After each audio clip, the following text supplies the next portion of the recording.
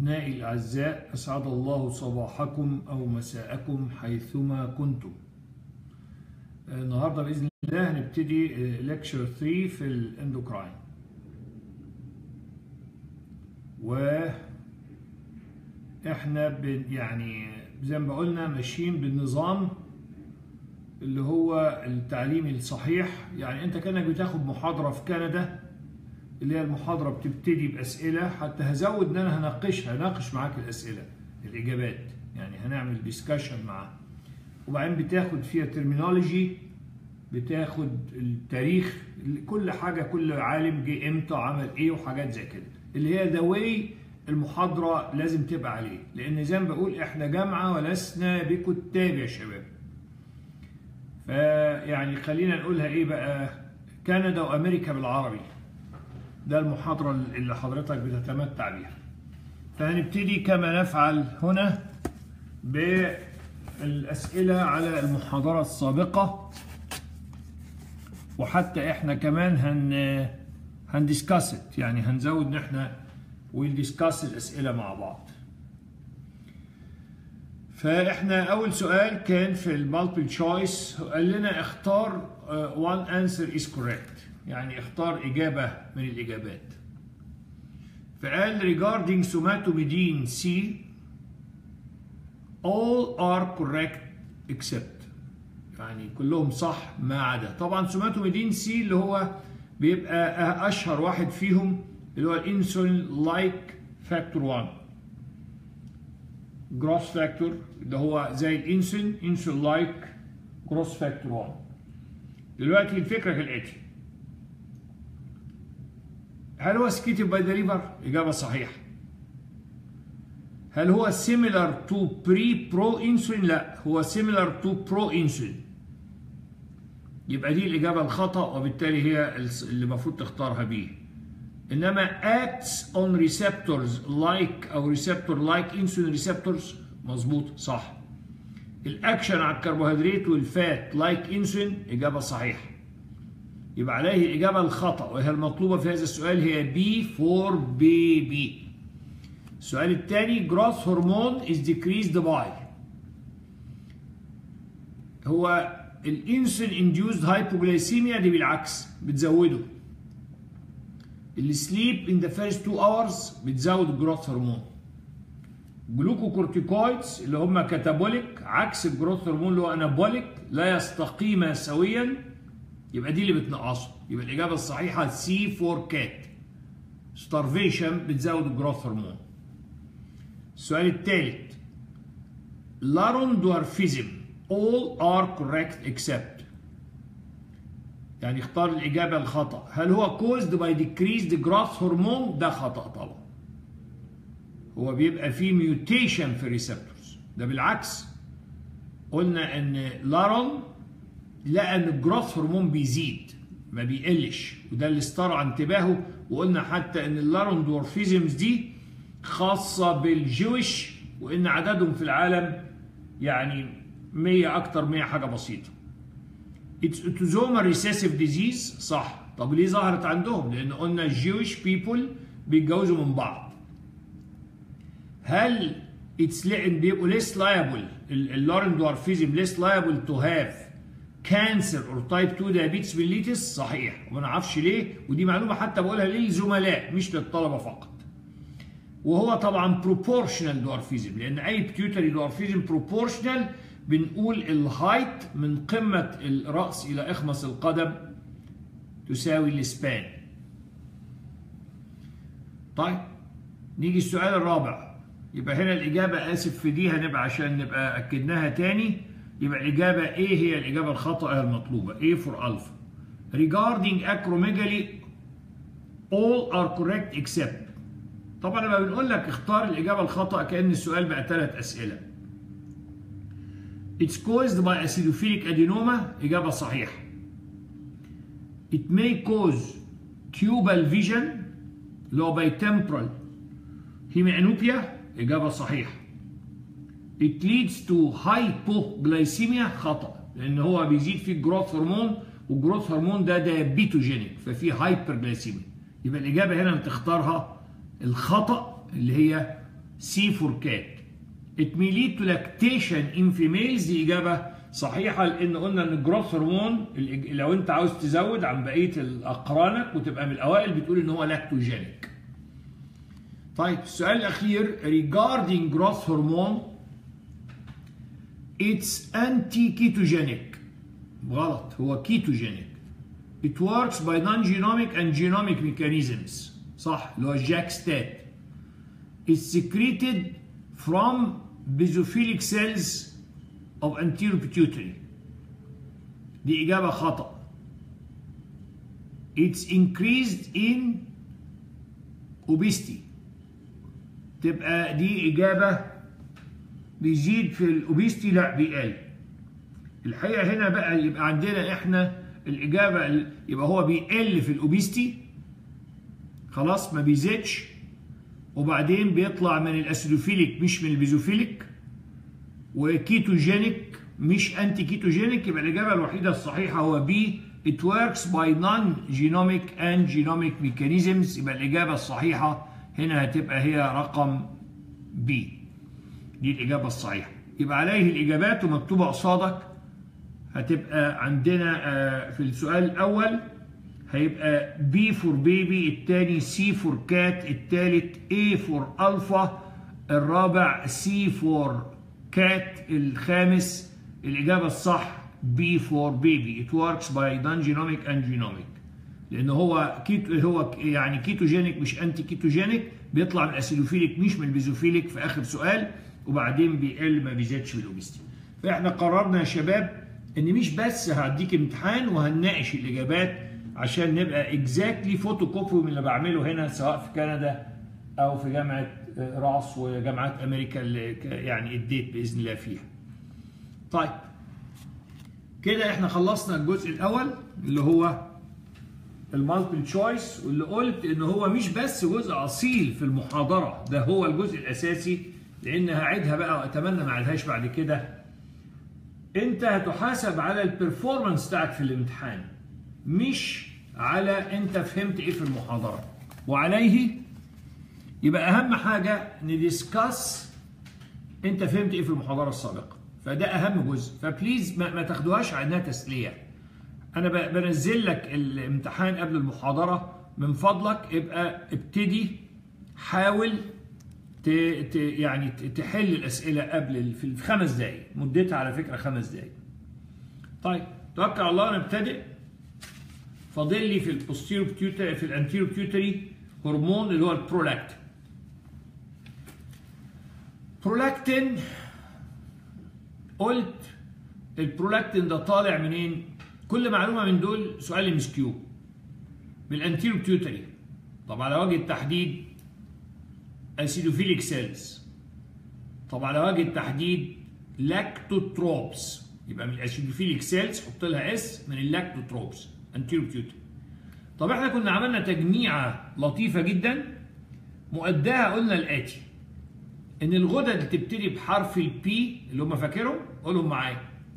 pituitary pancreas and parathyroid الهرمونات بتاعتهم بحرف ال P يا بروتين يا polypeptide ال prolactin تركيبه polypeptide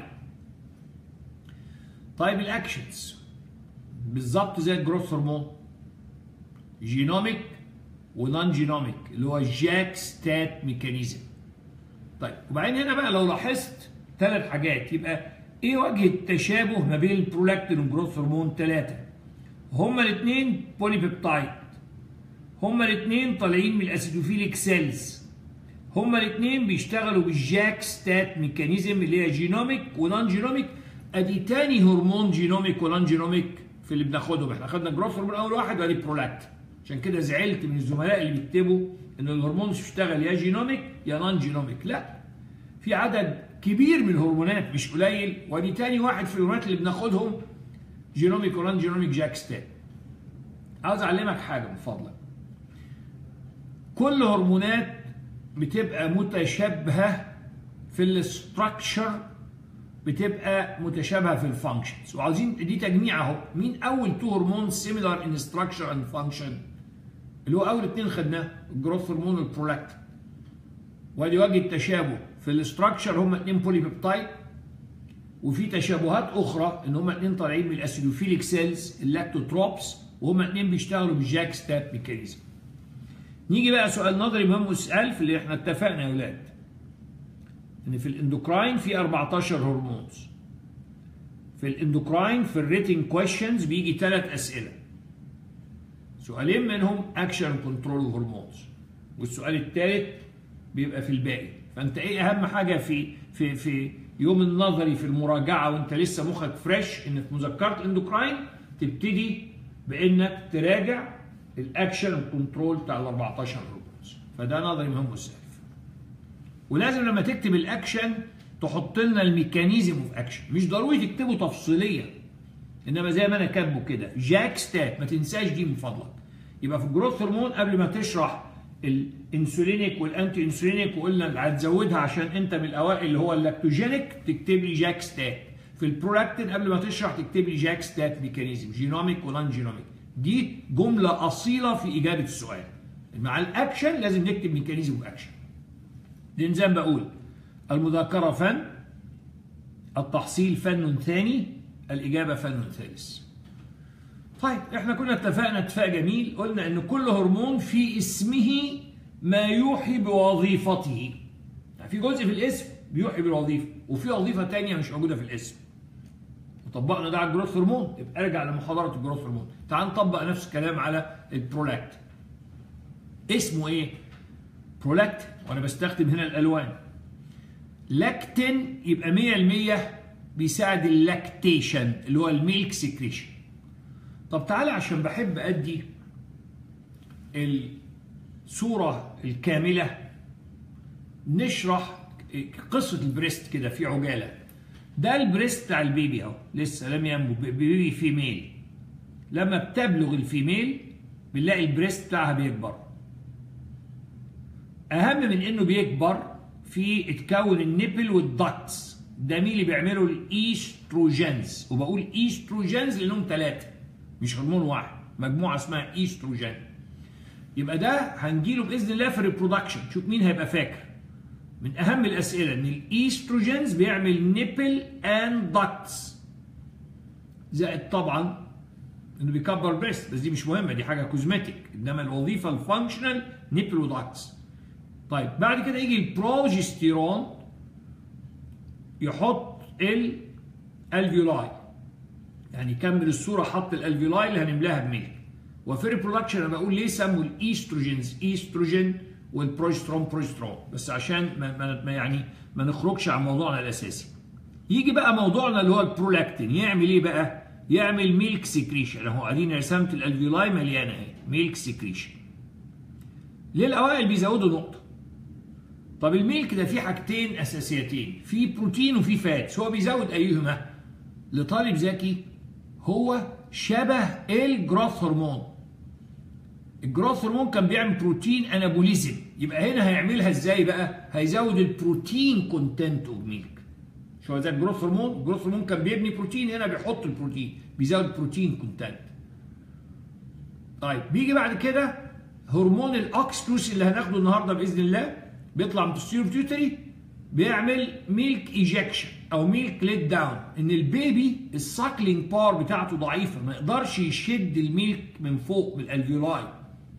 ففي حوالين ال alveoli خلايا عندها خاصية الانقباض اسمها myo يعني عضلة epithelial يعني خلية. myoepithelial cells. دي ت squeeze ال alveoli فت let ال milk down يعني تقرب ال milk تنزله لتحت ناحية ال nipple عشان سهل ال baby ياخده لأن ال suckling power بتاعته قليلة. ده ال oxytocin كل نقطة في الأربعة دي سؤال MCQ. الإيستروجين نيبلوداكتس البروجسترون الفيولاي البرولاكتين ميلك سكريشن خاصة البروتين. ال oxytocin milk let down أصح من كلمة milk ejection. تمام؟ طيب لطالب أذكى. لو إنه بيعمل lactation أنا بحب نفهم يا ولاد في محاضرات أحب الفهم كانوا يسموه lactin. لماذا سمي برولاكتين عشان كده حتى أنا مقسم لك الكلمة بالأزرق والأحمر. ليه سموه pro pro يعني قبل لأنه من قبل ال lactation بيساعد ال estrogens وال progesterone في ال development of the breast This is why it's called prolactin. يبقى الطالب فاهم ذكي مش مذاكر تأمل اسم pro lactin lactin يبقى بيعمل lactation و pro يبقى قبل ال lactation يبقى ساعد ال development of the breast من قبل ال lactation الوظيفة الثانية اللي مش باينة في اسمي. إن حفظتها وفهمتها actually لأجيال في جملة كده بعربياتنا وأنا بحب أشرح بالعربية لأن السنة الجاية بإذن الله إذا كان في العمر بقية هقول نفس ال course تاني in English يعني لل foreigner students والناس اللي بتحب تسمع بالإنجليزية. لكن أنا بحب أشرح بالعربي أكتر. لأن عندي جمل كده جميلة في العربي هنترجمها ما أمكن إلى الإنجليزية بس بتبقى يعني واقع الكلمة أحسن بالعربي. احفظها ما حييت. البرولاكتين يساعد الرضاعة وده يبدو في اسمه. طب فين اللي مش باين في اسمه؟ ويمنع الحمل. يساعد الرضاعة ويمنع الحمل. إزاي؟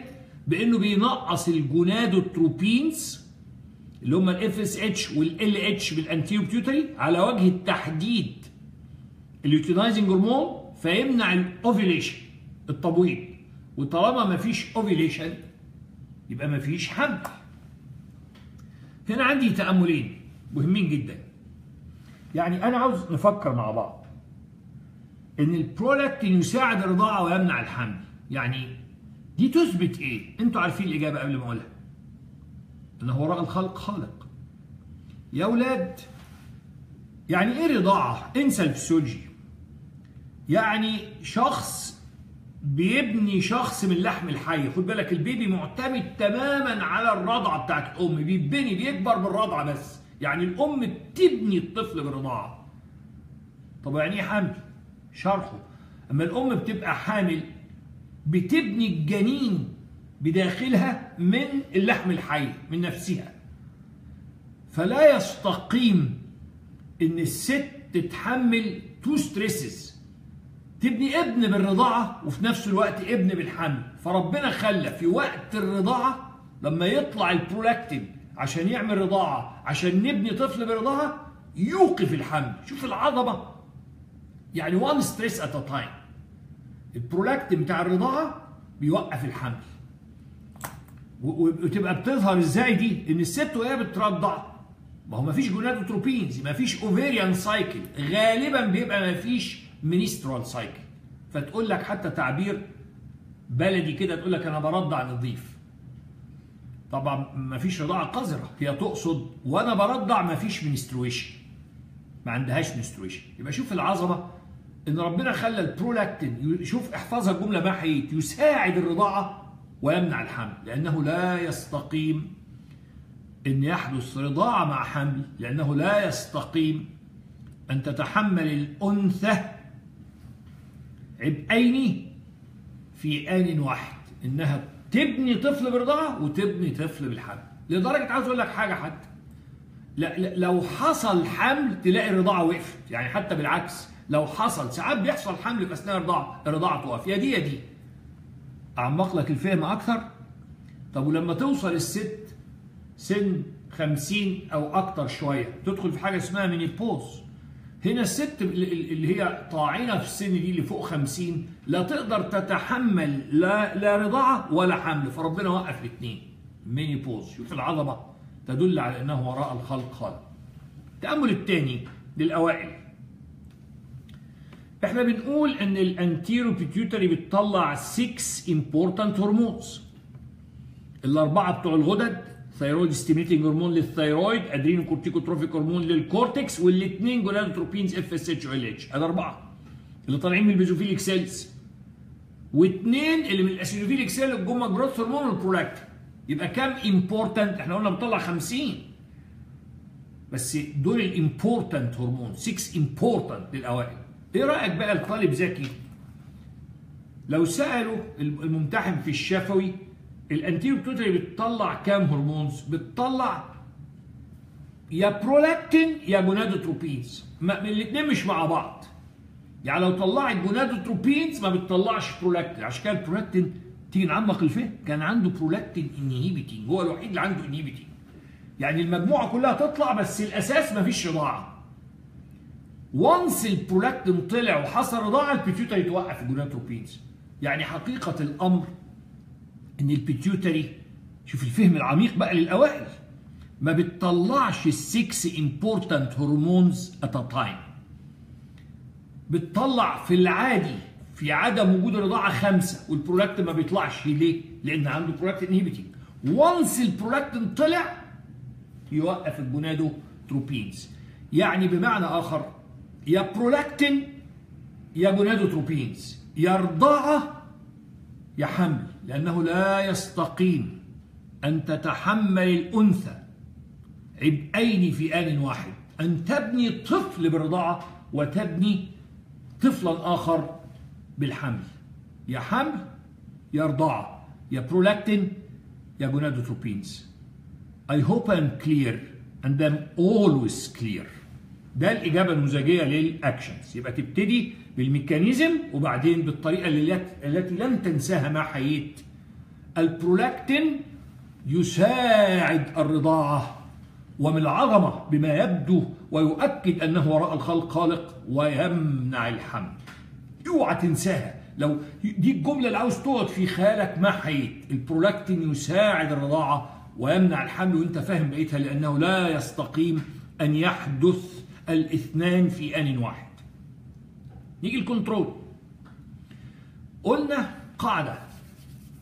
أي هرمون يا أولاد طالع من ال anterior pituitary لازم الأول تقول علاقته بال hypothalamus قاعدة قاعدة. ادام ال pituitary تقول علاقته بال hypothalamus ثم تتكلم على ال feedback لأن إحنا قلنا ال pituitary في control من فوق اللي هو ال hypothalamus و control من تحت اللي هو ال feedback. يبقى لازم تقول الاثنين. وبعدين نتكلم على حاجات أخرى. اتفقنا؟ يبقى أي من ال pituitary ترد السؤال من الخصوصية إلى العموم. إن أي حاجة تحت تأثير ال pituitary في control من فوق اللي هو nervous اللي هو ال hypothalamus و control من تحت feedback وحتى كنت قلتها لكم بطريقة جميلة وسهلة إن ال hypothalamus تحدد تحدد مستوى الهرمون المطلوب. وال feedback يثبت يثبت هذا ال level. ما علاقة ال prolactin بال hypothalamus؟ هو الوحيد اللي عنده inhibiting hormone فقط. prolactin inhibiting hormone. وقلنا ده تركيبه دوبامين. ده دي لوحدها سؤال MCQ لأن الباقيين كلهم small peptides بقية ال releasing inhibiting hormone small peptides إنما ده دوبامين. وغلطة مشهورة أديني لو ما نبهتش ليها هتغلط تملي الطلبة ت confuse ال prolactin مع ال prolactin inhibiting ال prolactin نفسه polypeptide بينما ال prolactin inhibiting بتاعه من ال hypothalamus dopamine وحتى قلتها لك بطريقة تذكرك. ليه هو دوبامين إنه ده الدوبامين نوع من أنواع ال catecholamines يعني لو الست انفعلت وطلع عندها catecholamines ما تقدرش ترضع. الرضاعة قلنا دي عبء على الأنثى تستلزم إن الأنثى تبقى في حالة هدوء مش في حالة خناقة. بتطلع catecholamines. و once اتخنقت طلع catecholamines وقف الرضاعه قلت لكم حتى ان إن ساعات الست تتخانق مع جوزها تقول له تقول له خليتني انفعل مش عارف ارضع ال baby. تبقى فاهمة ال mechanism. لما حضرتك انفعلتي طلعتي catecholamines. مين هم ال catecholamines؟ ثلاثة عشان تبقوا عارفين. للأوائل ال catecholamines ما هماش adrenaline و noradrenaline هم ثلاث مش هما ثلاثة. adrenaline noradrenaline و dopamine. يبقى ما تنفعل بتطلع catecholamines تطلع دوبامين اللي هو ال prolactin inhibiting يوقف الرضاعة. شوف حساسية موضوع الرضاعة وجماله. ما فيش رضاعة اللي هو حاجة بتمثل عبء على الأنثى مع انفعال. يبقى انساها بقى. إن ال prolactin inhibiting dopamine بين قوسين catecholamine. طيب. نيجي ال feedback. هنا بقى feedback جميل قوي قوي. يقول لك indirect negative feedback لو ما كتبتش كلمة indirect ده مش هتاخد نمرة. يعني إيه؟ تعال نشوف. سهل قوي. لما البرولاكتين يزيد عاوزين ننقصه. كنا في بقية الهرمونات اللي عندها stimulating factor بننقص ال stimulating factor لكن هنا لما البرولاكتين يزيد عشان تنقصه لازم تزود ال prolactin inhibiting فهو ينقص البرولاكتين. عشان كده سموها indirect هناك كنا بنقول الهرمون لما يزيد بيقلل ال stimulating factor طب هنا ما عندوش stimulating عنده inhibiting فال prolactin لما يزيد يزود ال prolactin inhibiting في inhibit ال prolactin يبقى فين الكلمة المهمة؟ Indirect negative feedback mechanism. ده الجزء الأول في ال control تاني ما عشقت مثل عشقي للنظام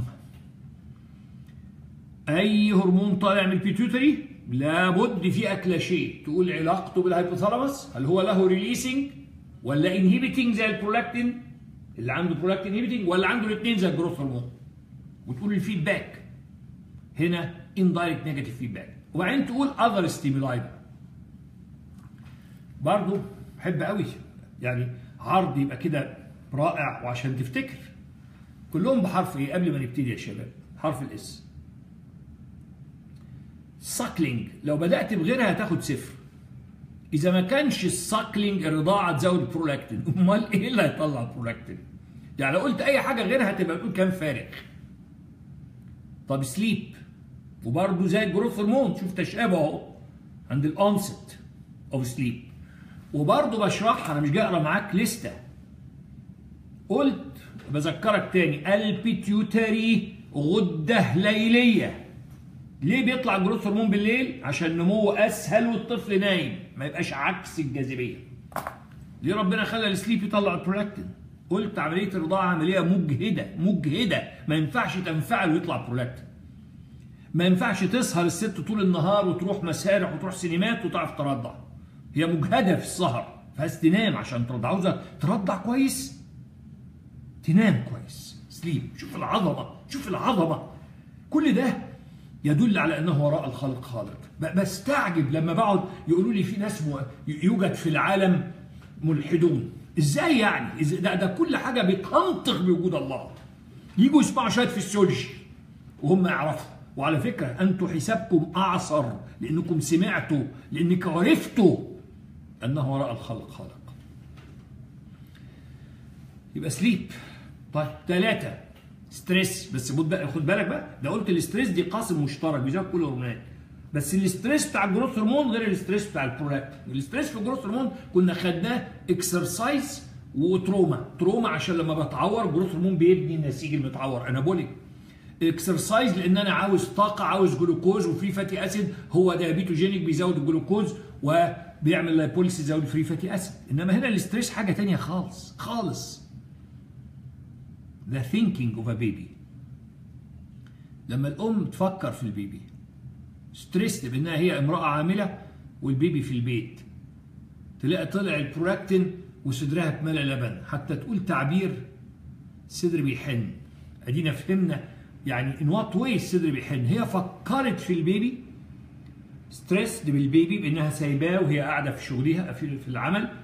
فطلع البرولاكتين زود ال lactation الصدر بيحن. نيجي لل sex hormones زي الايستروجين بيزود البرولاكتين وإحنا قلناها يا شباب ان هم هم في علاقه ما بينهم في في الاكشن مش كنا قلنا ان هو البرولاكتين بيساعد الايستروجين في الديفلوبمنت والايستروجين يساعد البرولاكتين يعني هما الاثنين agonist يبقى يزودوا بعض لو جاوبت ال action وال control بهذه الصورة يعني أكثر من رائع بس أنا عاوز أكمل حتة صغيرة للأوائل بقى. شوية أسئلة رائعة. What about the level of prolactin في البريجننسي؟ نتصور هو في في الحمل الست ما بترضعش مفيش رضاعه في الحمل. يبقى الإجابة المنطقية إن أنا أقول البرولاكتين قليل. بينما الإجابة الصحيحة إن البرولاكتين عالي جدا في ال pregnancy ثم في لحظة ال labor ال prolactin يقل. ثم يزيد بال nursing يعني ال suckling بالرضاعة. طيب إيه إجابة الأسئلة دي؟ الأسئلة دي كلها إجابتها حاجة واحدة ال answer estrogen ليه البرولاكتين عالي في ال pregnancy برغم إن لسه ما فيش رضاعة. لأن إحنا قلنا هو اسمه إيه؟ اسمه برولاكتين. يعني بي بي مش مهم الرضاعة بس pro pro بيساعد ال development of the breast فال prolactin عالي في ال pregnancy لأنه بيساعد ال development of the breast هو مش بس بيعمل lactation هو بيساعد ال development يبقى طالع عشان يساعد الايستروجين طب مين اللي طلعه؟ لسه قايلينها اهو الايستروجين وفهمنا ليه بقى بيطلعه؟ عشان يساعده في ال development طب مين منعه إن يعمل lactation في أثناء ال pregnancy ال estrogen يعني تصور ثلاث أسئلة إجابتها الايستروجين ليه طالع في أثناء ال pregnancy عشان يساعد الإيستروجين؟ طيب السؤال الثاني مين اللي طلعه؟ الإيستروجين. طب مين اللي منع ال lactation effect بتاعه؟ الإيستروجين. يعني الايستروجين طلعه يساعده في ال development لكن في نفس الوقت منع الوظيفة الثانية اللي هي ال lactation قال لها استني شوية. شوف الروعة. يبقى الإيستروجين هو اللي طلعه عشان يساعده في ال development ولكن هو اللي منع الأكشن بتاعه في ال lactation طب السؤال الرابع والأخير طب ليه في ال labor بيقل؟ ليه أول ما الست تولد يقل ال level of prolactin مفهومة. هو الايستروجين ده كان طالع منين؟ هو البروسترون في أثناء الحمل أساسا من ال placenta. ال estrogen وال progesterone بيطلع بكميات رهيبة ال placenta. طب ال placenta نزلت. يبقى حصل انخفاض في ال level of estrogen بسبب إن ال placenta اللي هي مصدر الايستروجين المشيمة نزلت. ده بتنزل قبل بعد ال baby immediately. يعني ال baby ينزل وراه ال placenta. فعلى طول ال level of prolactin يقل. ويبتدي يزيد تاني بقى بال suckling ده تبقى عارف ده أسئلة مهمة جدا في الشفوي وفي ال MCQ what about the level of prolactin في ال pregnancy الإجابة المنطقية ما فيش رضاعه في ال pregnancy يبقى البرولاكتين قليل. لا. عالي جدا برولاكتين طب التفسيرات كلها كلمة واحدة. أربع أسئلة إجابتها كلمة واحدة. ايستروجين مين اللي طلعه؟ الايستروجين طالع ليه؟ يساعد الايستروجين في ال development مين اللي منع إنه يعمل lactation ال estrogen طب ليه نقص ساعة الولادة؟ لأن مفيش estrogen ال placenta اللي بتطلع ايستروجين نزلت بعد كده بيطلع بال suckling كل ما ال baby يرضع يطلع. ده ال الكلام المظبوط. يا ريت بقى لو تكتب ال action وال control بالشكل ده لو في حاجة فوق ال full mark هيدوها لك. نيجي لل disorders يا شباب. الأمراض هتاخد شكلين.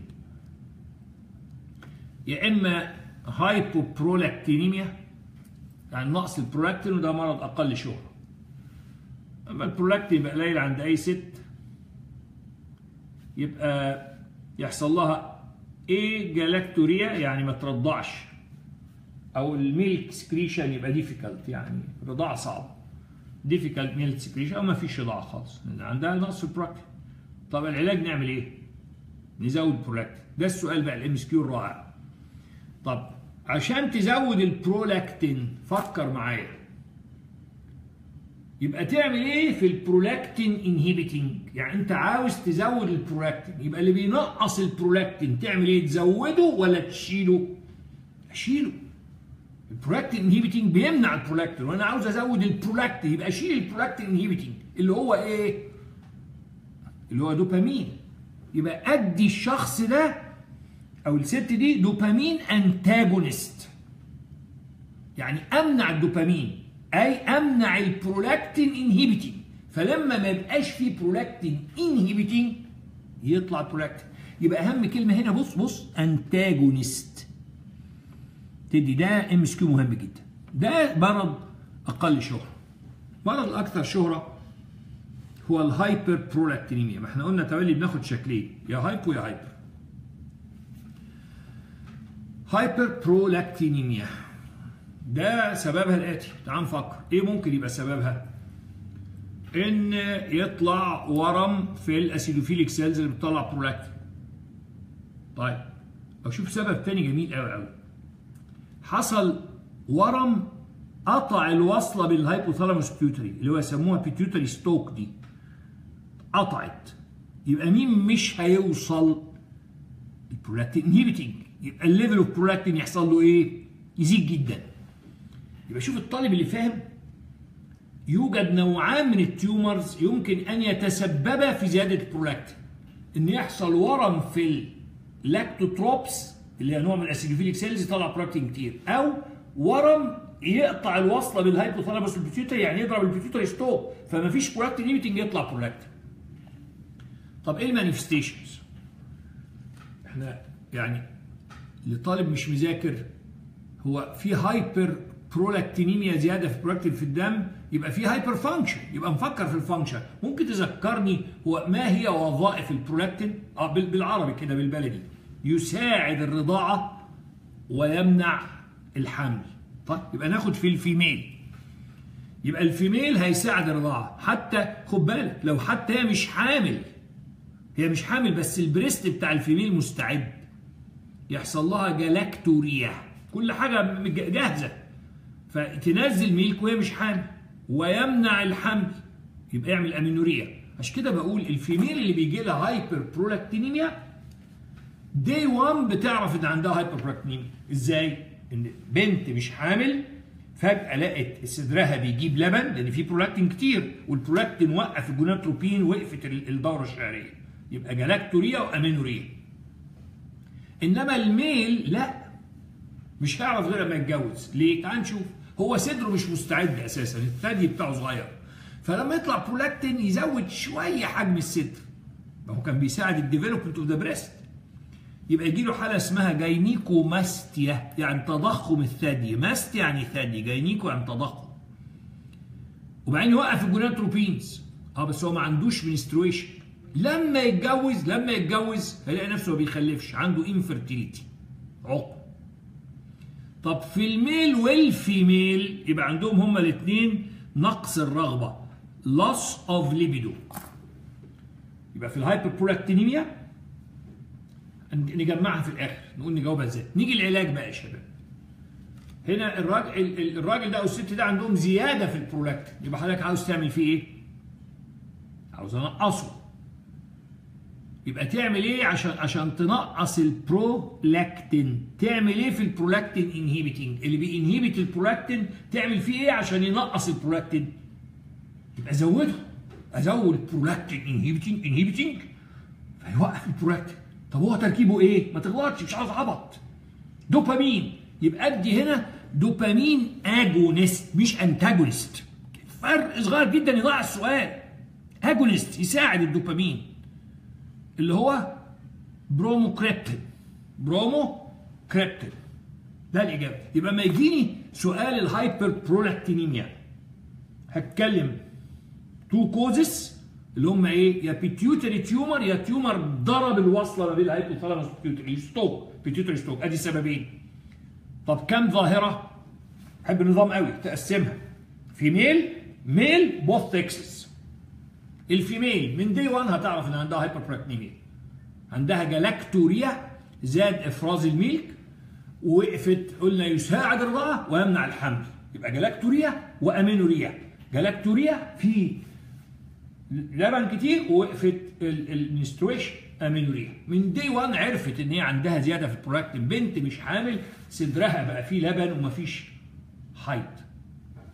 وده واحد من أسباب العقم في ال female ال hyperprolactinemia إنما ال male قلنا مش هيعرف غير لما يتجوز. صدره كبر شوية لأنه مش مستعد فمفيش milk secretion gynecomastia وبعدين ال gonadotropin ناقصه يعرفها إزاي دي؟ لما يلاقي نفسه ما بيخلفش. infertility طب في both sexes loss of libido نقص الرغبة. يبقى two causes و three manifestation طب والعلاج أهم كلمة فين بقى؟ افتح ودنك dopamine agonist agonist agonist not antagonist انت تشجع البرولاكتين عشان يوقف البرو لاكتين. ده البرولاكتين كما ينبغي أن يفهم يا ولاد. وإلا فلا. اقلب الصفحة من فضلك. آه نيجي ال المرض ده نظري لهم في ليه؟ لأنه ممكن بدل ما أجي أسألك في ال pituitary ونقعد نضيع وقت أجيب لك المرض ده. لا يمكن هتعرف تكتبه إلا إذا كنت فاهم كل وظائف ال pituitary عارف ليه؟ لأن المرض ده اسمه اسمه panhypopituitarism ناخدها من الآخر الأول. ما إحنا قلنا هم بيفكروا من الشمال يمين. عاوز تفهم أي حاجة؟ اقراها بالعكس. من اليمين للشمال. إحنا مخنا بيمين إحنا أهل اليمين. إذن يعني إيه علمتها لكم 100 مرة. حب ال terminology قوي قوي معناها مرض. hypopituitarism مرض نقص ال pituitary السر في كلمة إيه بقى؟ pan pan معناها حاجة من اتنين. all يعني شمل كل ال pituitary أو extended extended يعني ممتد. all or extended لدرجة ساعات لما نروح ناكل بيتزا فيقول لك عاوزها thin ولا pan pan بيفتكر الناس معناها عكس thin انها تخينة. لا pan يعني extended أو all ده معناه. ف pan hypopituitarism السر في في العنوان معناها إن ال hypopituitarism شمل كل ال pituitary pan pan all all كل الهرمون نقصت. فعشان كده ده ده مرض مهم جدا لأنك لا يمكن هتعرف تكتبه مظبوط إلا إذا كنت فاهم pituitary نيجي الأول نتكلم على ال cause. أو ال causes وال manifestations الظواهر. ال cause. يا إما ال pituitary عشان تشتغل لازم تأتمر بال hypothalamus يبقى lesion في ال pituitary أو hypothalamus ده حاجة مهمة جدا. lesion للطالب اللي فاهم pituitary بتأتمر بال hypothalamus يبقى إما pituitary أو hypothalamic lesions. مرض. including tumor. أي حاجة. في بقى حاجة مهمة جدا جدا جدا. اسمها يا أولاد Sheehan syndrome not جيهان. Sheehan syndrome. Sheehan syndrome. خد بالك بقى Sheehan syndrome ده ليه اسم تاني. بيسموه postpartum pituitary gland necrosis يعني إيه postpartum يعني حصل سببه severe postpartum hemorrhage. يعني نزيف حاد severe hemorrhage postpartum يعني بعد الولادة. بعد الولادة. يبقى ده ده مرض خاص بال female. إن female ولدت حصل لها نزيف حاد بعد الولادة فاتدمرت ال pituitary. فعشان كده حتى يسموها postpartum يعني بعد الولادة. pituitary gland necrosis يعني ماتت. ليه؟ بسبب إن حصل لها severe postpartum hemorrhage اللي اتكلم على المرض ده؟ راجل اسمه هارولد ليمينج شيهان وكان ده سنة 1937 هنا لازم نقول الكلام ده وإلا مشونا فورا وإلا الناس دي تعبت ليه؟ واكتشفت. اللي عشان يخلد اسمها في المحافل الطبية فلما كانش يتقال في الجامعة ما يتقال فين انما إحنا عندنا كتاب. ده أنا عاوز أقول هم ما بيقولوهاش لسبب آخر عشان ما هنش حد. خلينا نقول لسبب لا يعلمه إلا الله. ليه ما بيقولوش الكلام ده؟ مش ضروري أقول ليه بالظبط يعني. لسبب لا يعلمه إلا الله. ليه ما ليه ما بك أي رص جايين نقرأ مع الطلبة.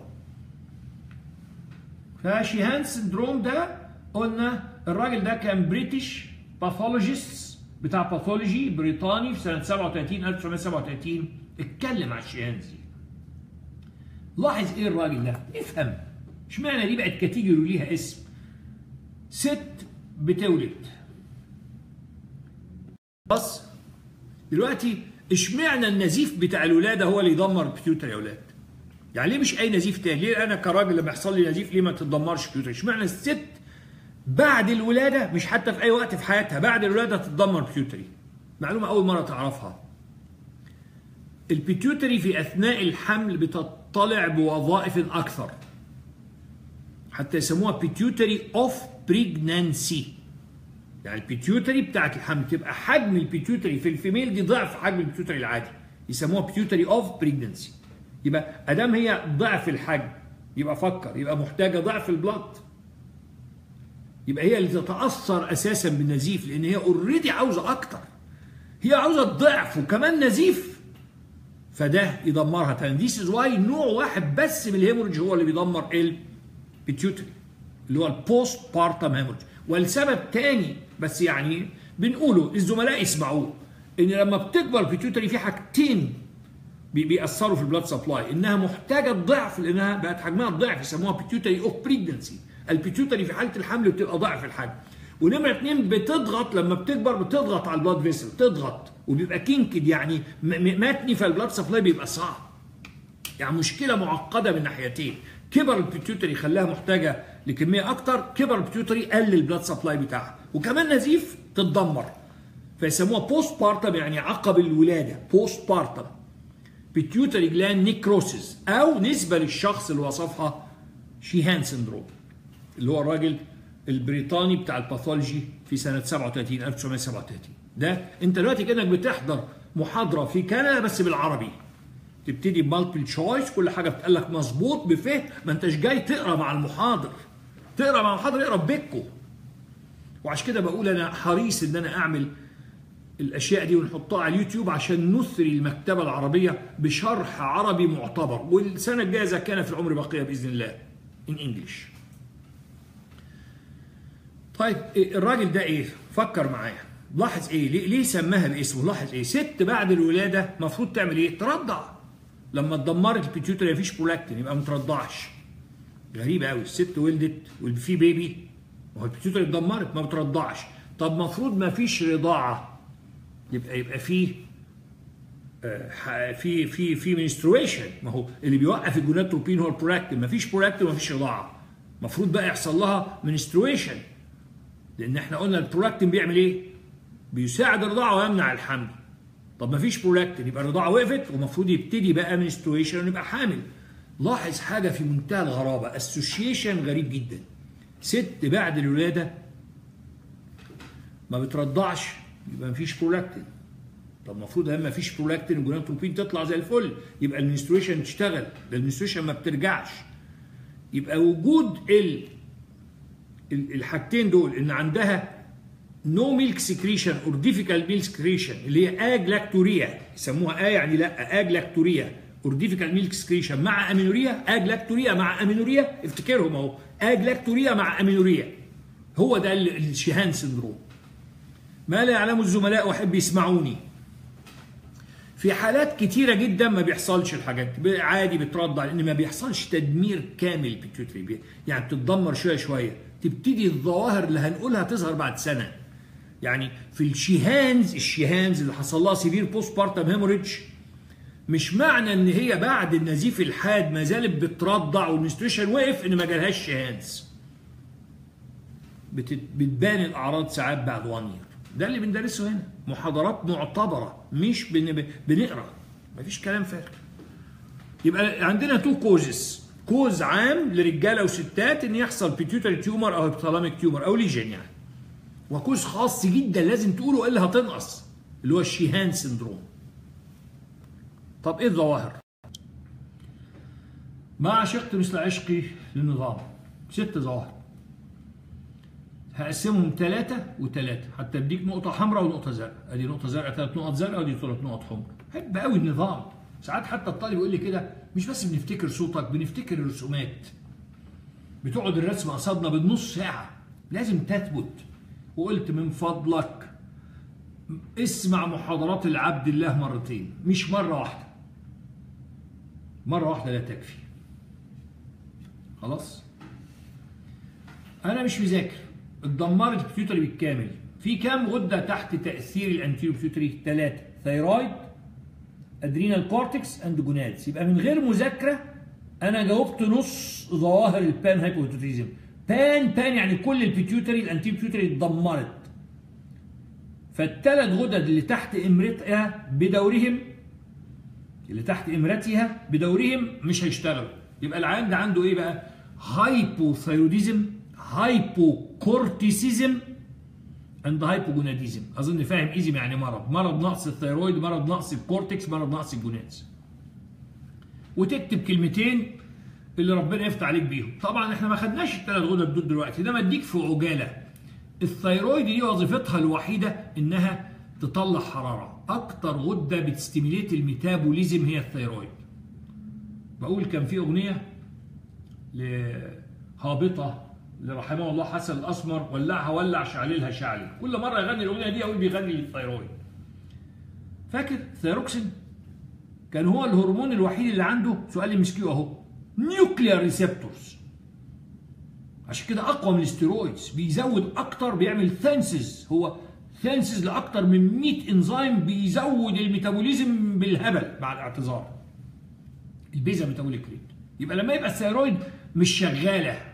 يبقى انت طفيت الدفاية بتاعت الجسم اللي بتزود metabolism بتطلع حرارة. يبقى العيان ده عنده intolerance to cold لا يحتمل البرد. وبعدين العيان بقى ساقع. يبقى حتى ال movements بتاعت ال bowel عنده قليلة. فيجي له امساك constipation طب العيان ساقع. يبقى الها... ال heart rate وال arterial blood pressure هيحصل لهم إيه؟ هيقلوا. decrease the heart rate و arterial blood pressure وبعدين ما بيحرقش. يبقى يحصل له weight gain و hair loss يعني يكتسب وزن ويفقد شعر. دي أشهر ست حاجات هتحصل له. حتى وريتها لك بطريقة سهلة كل اتنين مع بعض. تاخدهم مع بعض. مش عاوز ارجع الفيديو عشان نقدر نمشي حتة أكبر. طب نيجي نمرة اتنين بقى. ال cortex. هيبقى عنده hypocorticism ism يعني إيه يا أولاد أنا سامع يعني مرض. مرض نقص cortex.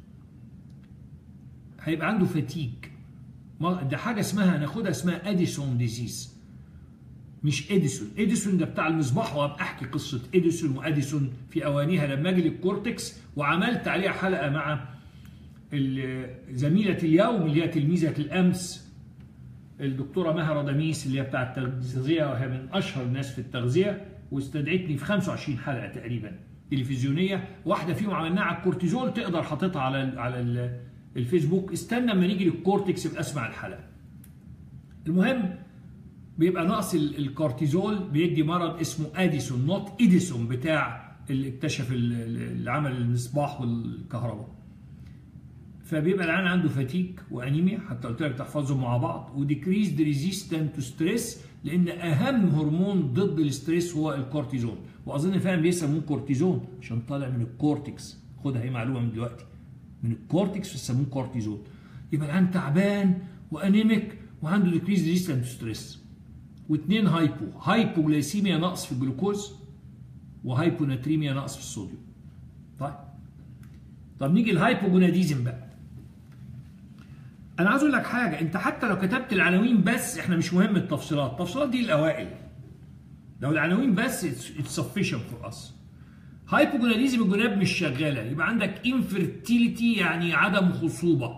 loss of libido libido اللي هي الرغبة. يبقى مفيش رغبة جنسية.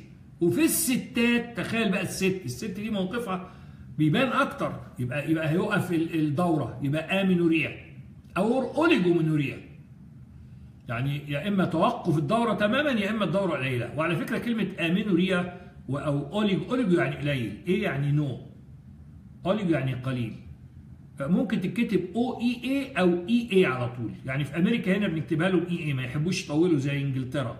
يا O E A يا إما E A وبيجي لها الست كأنها حصل لها menopause بقى الست. ما كأنه وقف ال gonads كان حصل لها سن الياس hot flushes اللي فجأة تلاقي نفسها عرقانة وحاسه إنها محرانه وحاجات زي كده. النمرة مش على التفصيلات يا شباب. النمرة إنك تكتب لطالب فاهم إن panhypopituitarism يعني كل ال pituitary توقفت يبقى الثلاث غدد اللي تحت امرتها توقفوا اللي هو hypothyroidism hypogonadism وللاوائل تفتكر شوية منهم. يبقى دول ثلاثة ما يصحش ننساهم. ثلاثة التانيين بقى نفكر فيهم. pituitary اتدمرت يبقى مفيش growth hormone خلاص؟ طيب مش عاوز عبط مش هقول يبقى هيقصر لأنه هي مش سوسته هو طول خلاص. هيحصل حاجتين مهمين جدا بحرف ال S ما تنساهمش مع حيد senility شيخوخة مبكرة سريعة rapidly developing يعني سريعة premature يعني قبل الميعاد senility. senility رهيبة. أنا فاكر اشتغلت نائب في القصر العيني دخل علينا عيان بي فانا احتراما ليه راجل سنانه وقع عنده loss of teeth gray hair شعره شايب wrinkled skin أنا بوصف لك أهو وصف العيان. يعني بقوله ده مش مش بوصف المريض اللي شفته بوصف لك المرض. loss of teeth فقدان الأسنان gray hair شعر شايب wrinkled teeth ال muscle mass بتاعته قليلة. يعني العضلات قليلة. فبقول له عندك كام سنة يا عمي؟ عمي بقى ما راجل كبير. قال لي عندي مش عارف 26 ولا 27 سنة. يا نهار أبيض ده ما ينفعش غير panhypopituitarism هي اللي تدي ده هي اللي تدي شيء. واحد في العقد الثالث يبدو إنه في العقد السابع. Rapidly developing premature senility. لأن ال growth hormone anabolic anabolic مفيش تعجز بسرعة وقبل الميعاد. الأهم منها بقى دي دي دي ما تهمناش إحنا كأطباء دي المهمة إن ال growth hormone anti-insulin لما تشيل ال growth hormone وكل الهرمونات التانية اللي قلنا كل الهرمونات ضد الإنسولين الانسولين زي الفريك لوحده والباقي كله ضد الإنسولين. يبقى العيان عنده increased sensitivity to insulin. تخيل أنت شلت كل أضداء الإنسولين كل قلت الإنسولين لوحده والباقيين في كفه أنت شلت معظم اللي في الكفة الثانية يبقى لازم عنده زيادة في sensitivity of insulin. هتقول لي هنا بتدرسوها إزاي وليه وليه؟ مش جايين نقرأ زي- هناك الناس تحب تقرأ. كتاتيب فاتحين كتاتيب. عيان عنده pituitary tumor حلو؟ فإحنا هنعالجه إزاي؟ هنشيل له ال pituitary يعني إحنا إحنا هنعمل له panhypopituitarism مرغم أخاك لا بطل. هيموت من ورم في المخ في ال pituitary فإحنا لازم نشيل ورم بال pituitary إحنا هنعمل له panhypopituitarism العيان ده عنده سكر. حلو مقرر ليه 20 وحدة سكر 20 وحدة إنسولين آسف 20 يونتس أنا لما أشيل كل أضداء الإنسولين يبقى حساسيته للإنسولين هيحصل لها إيه؟ هتزيد. يبقى في increased sensitivity to insulin هيبقى عنده حساسية جامدة جدا للإنسولين مفيش حد ضد الإنسولين. يبقى لازم جرعة الإنسولين أثناء العملية وبعد العملية تعمل لها إيه؟ تقللها. وإلا هو ما هو حساسيته الإنسولين زادت الجرعة اللي كانت بتعمل تأثير معين هتعمل تأثير مضاعف. هتدخله في severe hypoglycemia وأقول لك حاجة خدها من من العبد الله. عمر العيان ده ما هيفوق من البنج. لو ما لو ما خدتش بالك من النقطة دي. يعني بص أهي. خد بالك we may save a patient. we may save a patient. إن أي عيان هشيل له ال pituitary هعمل له أنا panhypopituitarism وكان عنده سكر لازم أقلل جرعة الإنسولين لأن أنا شلت كل أضداد الإنسولين حساسيته للانسولين زادت. فلو خد نفس الجرعة هيجي له severe hypoglycemia و coma عمره ما هيفوق منها brain damage على طول. مفيش هزار. أدي إزاي بندرس هنا؟ إذا عاوز تعرف. مش بنقرأ المعلومات مش بالموضوع مش الدكتور ناجي بينظم ثلاثة بالأزرق وثلاثة بالأحمر. ده دي فوق البيع إنما البيعة فهم وفهم عميق. ومحاضرات بحقه حقيقي. عشان كده مش حاطيننا يعني بزعل. مش ضمن قائمة 500 جامعة. حرام يعني حرام. يعني بلادنا اللي لها باع وحضارات. مش ضمن 500 جامعة. نظام التعليم لابد إنه يتطور زي ما بقول أنا نفسي بص الزملاء الأكبر سنا يعني ما أقدرش أكلمهم دول اساتذتي وفوق دماغي من فوق. الزملاء الأصغر سنا آه، يعني بقول لهم الآتي ما اتبعوا أسلوب العبد الله. إيه رأيكم إن تبتدوا أنتوا بداية جديدة في محاضراتكم؟ الناس المدرسين والأساتذة المساعدين والأساتذة الجداد وكلهم درست يعني ك- كثيرا منهم. إيه رأيكم تعملوا المحاضرة بالطريقة دي؟ ادخلوا كده ابتدوا multiple choice ادام معظم امتحان MCQ وجاوبوه هاتوا MCQ معتبر. عاوز discussion هاتوا ال terminology معاني الكلمات.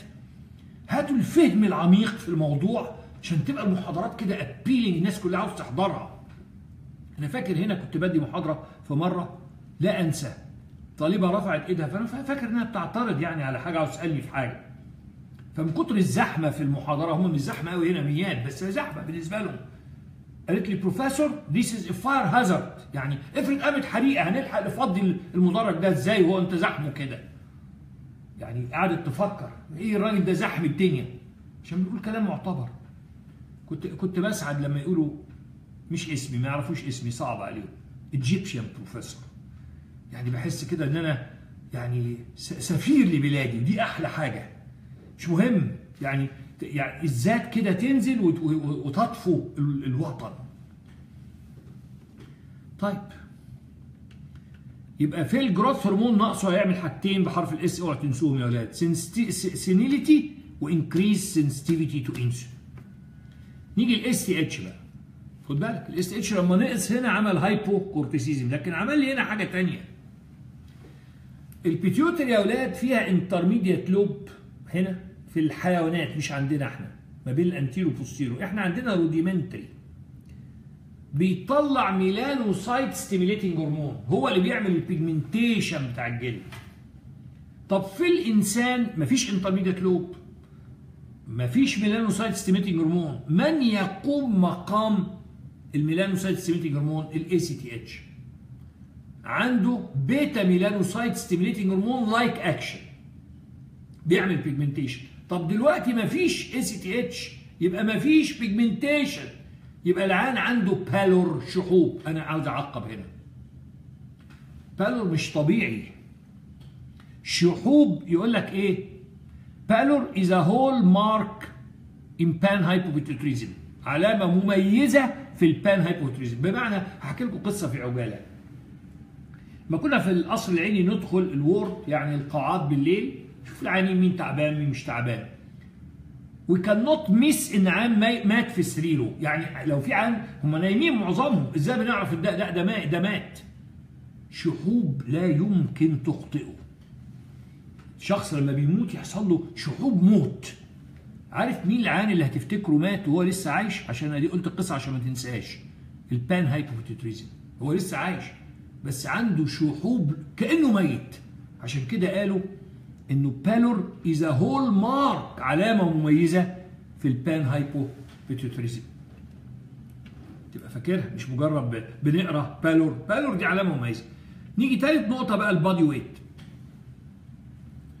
غلطة مشهورة حتى في الماستير ناس تغلطها تسأله لما العيان عنده panhypopituitarism يحصل إيه؟ يقول لك ال body weight هيقل. لا لا غلط. اللي هيقل ال muscle mass لكن ال body weight إحنا لما بنتخن أساسا بنتخن عضلات ولا fat بنتخن fat ال body weight هيبقى عنده زيادة. ليه بقى؟ لأن أنت مين الهرمون الوحيد اللي بيعمل lipogenesis الإنسولين. ده موجود موجود. وأنت شلت كل اللي بيعملوا lipolysis كلهم. ما لو قلت الإنسولين على الكربوهيدرات وال fat زي الفريك ما يحب الشريك هو الوحيد اللي بيوطي الجلوكوز الباقيين كلهم يزودوا. هو الوحيد اللي بيعمل lipogenesis الباقيين كلهم يعملوا lipolysis حضرتك شلتهم كلهم والإنسولين موجود. البنكرياس زي الفل. يبقى ما فيش lipolysis وبالعكس في lipogenesis فال body weight يزيد يقول لك حتى notice the well nourished state of the patient يعني شكله متختخ. بس ال body mass قليلة. ال body mass ليه؟ لأنه ما فيش protein anabolism. يبقى مش أي عبط ال weight بيزيد. ما نغلطش خدوا بالكم حتة هنا مهمة جدا. لو كان السبب إحنا قلنا ضمن الأسباب في hypothalamic lesion فلو كان السبب lesion في ال hypothalamus فال pituitary مش هتشتغل لأنها بتشتغل تحت أمرة ال hypothalamus لكن ال lesion ده خد ال median eminence اللي بتشغل ال pituitary وخد ضمن ما أخذ ال feeding center وهم جنب بعض. مركز تغذية يعني ال lesion في ال hypothalamus خد اللي باظ ال pituitary وفوق البيعة ال lesion امتد خد ال feeding center. يبقى العيان ده مش هياكل. يبقى دي الحالة الوحيد اللي هيسموها في هذه الحالة يا شباب pituitary cachexia يعني لو لقيت عيان عنده panhypopituitarism وخاسس جدا جدا دي حاجة مش طبيعية لأن المفروض وزنه يبقى زايد. يبقى ده عنده pituitary cachexia مين اللي اكتشف دي بقى؟ راجل اسمه موريس سيمونز. موريس سيمون أو سيمون. في 1914 في سنة 1914 وده راجل German pathologist and physician يعني بيشتغل كان pathology وبيشتغل طبيب في نفس الوقت في ألمانيا. في سنة 1914 هو اللي لاحظ إن بعض عيانين ال panhypopituitarism على عكس العادة على عكس المفروض ال weight بتاعهم قليل جدا. فابتدى يفكر ليه؟ مع ان ما فيش lipolysis المفروض يبقوا تخان إن ال lesion في ال hypothalamus خد ال feeding center فسموها Simmonds disease نسبة إلى Morris Simmonds في 1914 أنت تسمع محاضرة يلقيها لعبد الله هنا بس بتسمعها بالعربية حتى نثري اليوتيوب. أتمنى تبقوا بتستفادوا. ده Simmonds disease يبقى لو جالك ال panhypopituitarism هتشرحه two causes في cause عام pituitary hypothalamic lesion و cause خاص بالستات وشرحته لك اللي هو ال Sheehan syndrome بسبب severe postpartum hemorrhage hemorrhage بعد الولادة. يبقى two causes و6 manifestations ثلاث غدد وتشرحها hypothyroidism hypocorticism hypogonadism وبعدين ثلاثة تانيين. بره الثلاث غدد. ال growth hormone ناقصه هيعمل إيه؟ ما تقولش dwarfism مش عاوز عبط. مش سست هو خلاص كده طول senility و sensitivity الانسولين افتكر. senility rapidly developing and premature senility وزيادة sensitivity الانسولين دي أهم سؤال بيجي في ال MCQ هجيبها لك سؤال ال MCQ لازم تخفض جرعة الإنسولين. ولا العيان يحصل له severe hypoglycemia ويدخل في كوما ويتوفاه الله. pallor وبعدين مناقشة على ال body weight إيه المفروض في ال body weight المفروض ال muscle mass تقل بس ال body weight يزيد لأن مفيش lipolysis وبالعكس في lipogenesis بتاع الإنسولين. لو قل ال body weight يسموها pituitary cachexia نسبة إلى الراجل يسموها Simmonds disease بلاقي في كتبنا يكتبوا الأسماء وبدون قصة بدون ما ما يحكوا إيه القصة وإيه اللي استرعى انتباهه ومين استرعى انتباهه؟ لابد من تطوير منظومة التعليم. وزي ما بقول أستطيع أن أنصح الناس اللي هي درستهم في يوم الأيام وحضروا محاضراتي يا جماعة أنتم تيك ذا ليد خدوا أنتوا مشعل الحضارة ورجعونا تاني في في في, في الوضع الذي نستحقه. نحن كنا بناة الأهرام. طيب أتمنى تكونوا استفدتوا. اقلب الصفحة من فضلك ندخل الغدة الأسهل وهي ال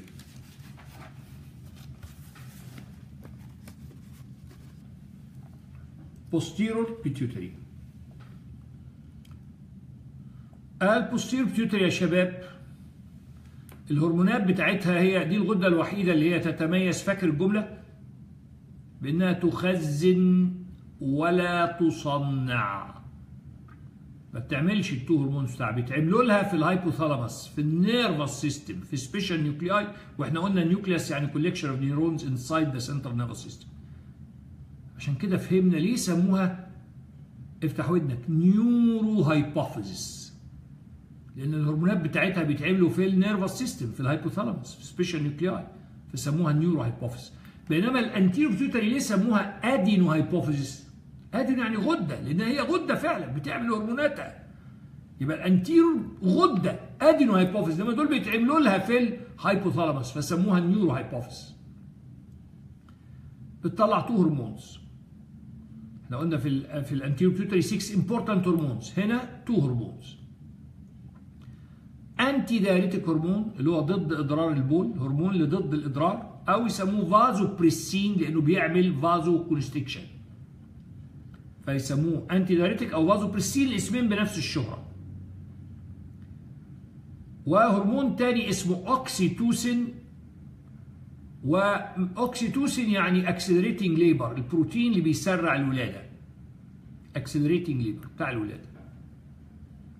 طيب نيجي بقى في معلومات مشتركة عاوز أخدها عنهم هما الاثنين دلوقتي. تعال نشوف ال oxytocin وال ADH كل معلومة من دي سؤال MCQ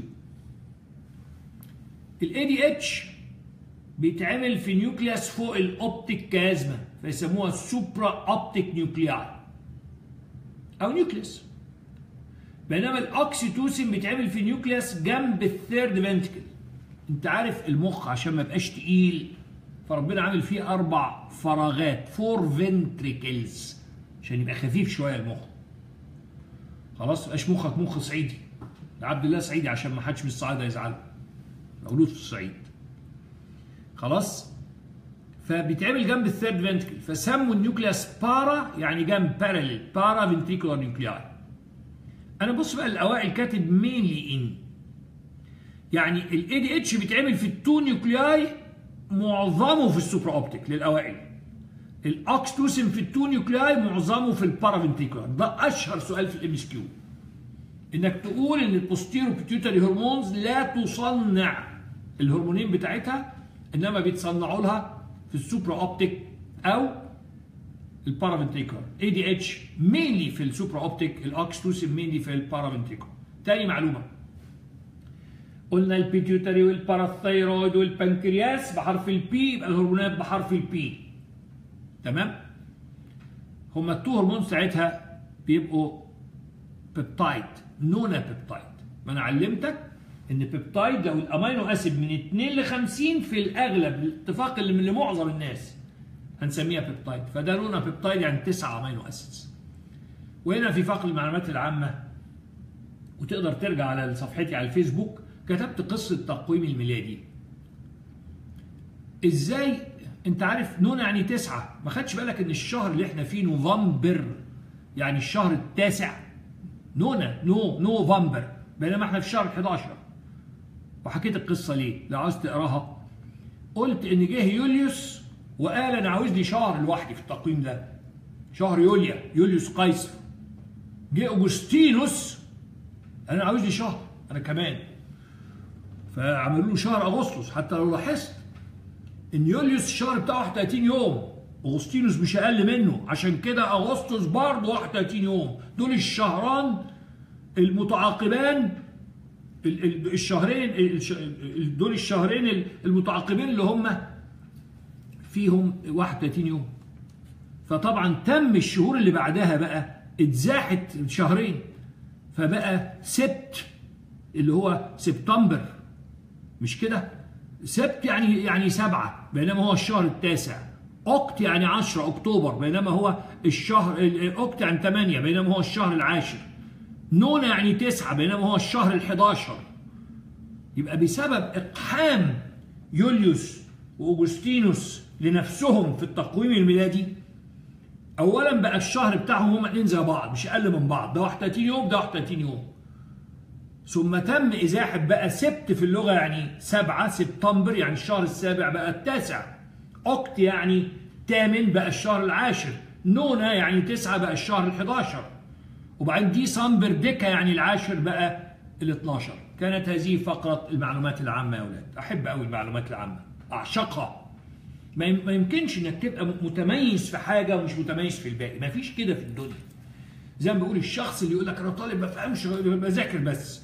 زميل فاضل افهم مادتي بس. الثقه ده ما يفهمش حاجة. ولا يصنف normal person أنا بقول أوصاف ال normal person في في محاضرات السيكولوجي بإذن الله. أربع حاجات. أولهم multiple interest لو ما عندكش multiple interest تفهم في حاجة واحدة بس أنت لا تفهم في شيء. عشان كده هنا بيدرسوا في حاجة اسمها major وحاجة اسمها minor ما فيش حاجة اسمها تدرس major وحاجة معينة وما تعرفش حاجة على الباقي. لازم هنا كده ده نظام التعليم الناجح. حاول يعمله رحمه الله الأستاذ دكتور صالح بدير بس يعني لم يفلح. كان عميدا كان لكلية الطب. المهم يبقى هم حكينا القصة دي عشان تفتكر إيه؟ إن هما الاثنين نونا بيبتايد. وعليه تفتكر إيه؟ إنهم similar in structure. وعليه اللي مش هيقولوه لك عندك في المحاضرات هناك إن هم similar in function. يعني ال oxytocin عنده weak ADH like action وال ADH عنده weak oxytocin like action بس ما تقولهاش دي بس تبقى عارفها. يبقى أول معلومة ده طالع من ال supraoptic وده طالع من ال paraventricular تاني معلومة في ال MCQ دي أهم معلومة في ال MCQ نمرة واحد. تاني معلومة إن هما اثنين nonapeptide واستنتجناها بقى. ما إحنا حطينا قواعد العبد لله إن الغدد اللي بحرف ال P كلها تطلع يا بروتين يا polypeptides pituitary بشقيها anterior posterior pancreas و parathyroid هتقعد ما هيبقى بإذن الله فاكر ال ال ال الحاجات اللي حطيتها القواعد اللطيفة دي. وقلت لك يعني اسمه يعني إيه peptide من 2 ل 50 دول تسعة. يبقى peptide مش polypeptide polypeptide أكتر من 50 بس linear chain يعني أو سبحة كده أو سلسلة مستقيمة. لما تبقى folded أو كذا peptide على بعض بنسميها بروتين ده الاتفاق بتاع معظم وليس كل الناس. طيب عايزين نتعلم. طب هينزلوا إزاي بقى؟ طب هنا بيتعملوا في neuron. neuron يعني cell nerve cell يبقى هينزلوا مع ال axon بتاعها. جوه ال axon في حاجة اسمها ال axoplasm مجموعة axons بره يعني مجموعة nerve fibers بره نسميها fibers نسميها nerve آسف. radial nerve ulnar nerve إنما مجموعة nerve fiber جوه ال CNS يسموها tract قاعدة هيتعلمها يبقى مجموعة axon nerve fiber ماشية بره تبقى nerve ulnar radial femoral مجموعة axon جوه يسموها tract طب tract بيوصلوا ال hypothalamus بال hypophysis يبقى يسموهم إيه؟ hypothalamo hypophyseal tract وده سؤال برضو MCQ و stored في ال posterior يبقى ال posterior ما بتصنعهمش. بيتصنعوا لها في ال hypothalamus اللي هي جزء من ال nervous system عشان كده سموها neurohypophysis يبقى فاهم كل حاجة. كل حاجة بتقال ليه؟ وبعدين زي ما قلت لك أي بروتين أو peptide hormone بيتعمل ك pre-prohormone ثم prohormone ثم هرمون. قاعد هي هي. هتتضح هنا؟ إن بص أهو بدليل إن ال ADH وال oxytocin لما بيبقوا secreted وطبعا هما بيبقوا secreted كأنهم chemical transmitter زي ال chemical transmitter بالظبط. بص ب action potential يدخل calcium voltage-gated calcium channel قلناها مع مع ال central nervous system وبعدين يطلعوا بعملية اسمها exocytosis أهي. يبقى secreted الثلاث كلمات. action potential يفتح voltage-gated calcium channel يطلعهم بال exocytosis بيطلعهم مع مين بقى؟ ما هم كانوا جزء من من بروتين كبير. ال ADH مع neurophysin 2 طبعا لاحظ كلمة neurophysin يعني بروتين تبع ال neurohypophysis فيسموه neurophysin من كلمة neurohypophysis اللي هي الغدة. 2 وال oxytocin بيطلع مع neurophysin 1 يبقى ده مع 1 وده مع 2 عشان ما تلخبطهمش أنا بساعدك بحاجة صغيرة. ال ADH ده بتاع المية. فاكر كنت حاضر فيلم اللي هو بتاع فتاح القصري وعبد إسماعيل ياسين بتاع نورماندي 2 كان ليه حتى طريقة كده في نطقها. نورماندي 2 فأنا بقول ال ADH ده بتاع المية كل حاجة فيه لاحظ إن هو هتبقى 2 بيطلع مع neurophysin 2 بيشتغل على vasopressin receptor رقم 2 بيحط قناة لامتصاص المية اسمها aquaporin 2 حلوة؟ عشان تفتكرها أهو. تقول العبد لله قالها لي بطريقة سهلة. يبقى ال ADH بتاع المية افتكر نورماندي 2 بيطلع مع neurophysin 2 بيشتغل على الفازو بريسين 2 receptor. وبعدين بيحط channel اسمها aquaporin 2 يبقى ال oxytocin هو اللي مع neurophysin 1 أنا تملي بسأل نفسي سؤال. هو ليه ربنا خلاهم يتعملوا في ال hypothalamus ويختزن في ال posterior مع أن المسافة دي سنتي كان ممكن ال neuron بأكمله يبقى جوه ال posterior pituitary أو جوه ال nervous system. ما فيش مشكلة. يعني يتعملوا ويخزنوا في نفس النقطة. لأن ال two hormones دول حقيقة الأمر بيشتغل ك chemical transmitters. في جزء منهم بيتصرف في ال hypothalamus في ال nervous system ويشتغل ك chemical transmitter. والجزء اللي نزل واختزن هنا وبقى secreted في ال blood بيشتغل كهرمون. يعني هم حقيقة الأمر. chemical transmitters ده اللي هثبته لك حتى من الحاجات الزيادة اللي مش عليك. وك hormones. هم علينا هنا ك hormones أساسا معظم الكلام. لكن في عجالة هقول لك إزاي هم بيشتغلوا ك chemical transmitter ده المعلومات. يبقى شوف النظام حلو إزاي يا ولاد. بيتعملوا فين؟ هنا في mainly في ال supraoptic هنا في ال paraventricular تركيبهم إيه؟ nona nona وحكيت قصة نوفمبر شهر نوفمبر شهر التاسع بسبب يوليوس واوجستينوس بقى الشهر ال 11 وبقى ديسمبر اللي هو deca يعني 10 بقى ال 12 وقبليهم oct يعني 8 بقت بقى ال ال الشهر العاشر. و sept يعني 7 بقى التاسع سبتمبر. معلومة حلوة. عاوز تعرف التقويم الميلادي اتعمل إزاي؟ ارجع على صفحتي في الفيسبوك تقرأ كلام محترم. ونشرتها مقالة على فكرة هنا. تملي أنا بكتب الفيسبوك عبارة عن rough copy بعدين بنشرها في الجرائد العربية. عندي مقالة ثابتة. بحب أنا إن نبقى الواحد كده عنده اطلاع ومعلومات ويديها الآخرين مش يبقى محدود الأفق. الأمم بتبنى برجالها كده. بناس عندها أفق متسع. اللي هو حضراتكم طبعا. يبقى شفتوا النظام؟ اتعمل فين؟ وتركيبه nonapeptide. نزل عن طريق ال tract hypothalamo hypophyseal tract stored في ال posterior pituitary طلع ب action potential زي ال chemical transmitter هو في الأصل chemical transmitter يبقى action potential calcium exocytosis بس دخل blood فاعتبرناه هرمون. وفهمت ليه طلع مع neurophysin 2 neurophysin 1 كل دي أسئلة MCQ. عشان أي هرمون بروتين أو بروتين بيتعمل ك pre-pro ثم pro ثم الهرمون. هنتكلم عليها بالتفصيل في الإنسولين بإذن الله في آخر محاضرة. أنا عاوز أبتدي بالصغير الأول اللي هو ال oxytocin تعال نغير كده من حقنا نعمل اللي إحنا عاوزينه. ابتدي بال oxytocin يا ولاد اللي هو accelerating labor أو في عجالة تاني كاتب المعلومات الخاصة بتاعته انه بيتعمل mainly في ال paraventricular اللي هو جنب الفراغ في المخ اللي هو ال third ventricle وتركيبه nonapeptide ينزل عن طريق hypothalamo hypophyseal tract يختزن في ال posterior pituitary و released ب action potential calcium exocytosis مع ال neurophysin 1 طيب نيجي ال action ال action ليه ثلاثة أكشن أساسيين. هو اسمه oxytocin يعني accelerating labor سرع الولادة. تمام؟ However مش ده ال most important function تصور لو بدأت بيه غلط. أهم وظيفة ليه بقى؟ ليه؟ افهم. لأن في هرمونات كثيرة بتعمل contraction في ال uterus وتعمل ولادة. انما هو متفرد لوحده في اكشن بيعمله لوحده ما حدش يقدر يعمله غيره. لو مش موجود مش هيحصل. عشان كده بقول يا ولاد مش بس كم المعلومات مهم ترتيب المعلومات equally important فأهم وظيفة اللي ما بيعملهاش غيره اللي لو مش موجود مش هتحصل اللي هي ال milk ejection والتعبير الأصح هو ما بيعملش ejection يعني مش الست وهي قاعدة كده لو طلع oxytocin زي في مسرحية أنا هايس وأخويا لايس بتاعت سمير غانم يروح طالع لما فاجئنا إن طلع milk كده من صدره لما كان لابس ست. أهو ده ال milk ejection مفيش كده.